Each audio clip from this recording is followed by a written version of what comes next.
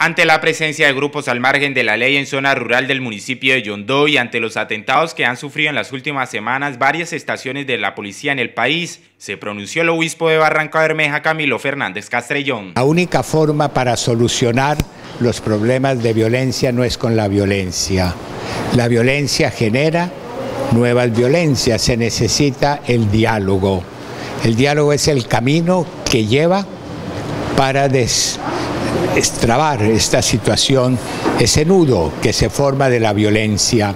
Y en el momento de dar los pasos hay que desescalar el conflicto.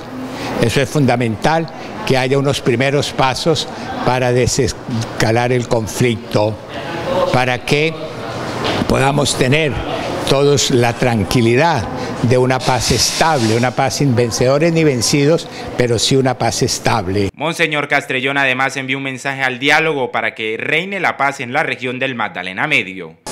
Cuando hay un muerto, la mamá, el papá y los hermanos de ese muerto, de esa persona que murió, sufren, sea guerrillero, sea paramilitar, sea militar, sea policía, sea civil, sea el que sea cuando la violencia quita a un ser querido, el dolor es muy grande, el dolor de las mamás es muy grande, el dolor de las esposas, los huérfanos, la destrucción, los miedos que obligan al desplazamiento.